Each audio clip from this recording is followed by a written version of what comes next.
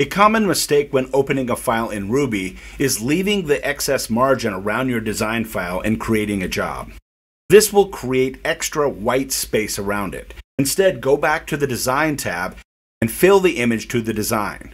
You can assign a margin at this location to your specific dimension and adjust it as needed.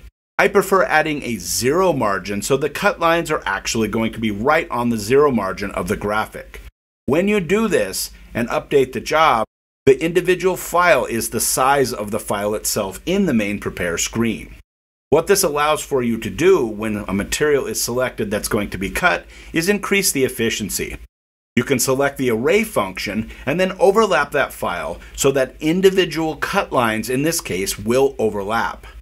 Once the array feature has been determined to get the most efficiency out of the material, select Update then select skip overlapping cut lines, straight cut only in this example, and then push the file to the queue. This will give you the by far the most efficiency when cutting the material, saving on time and material costs.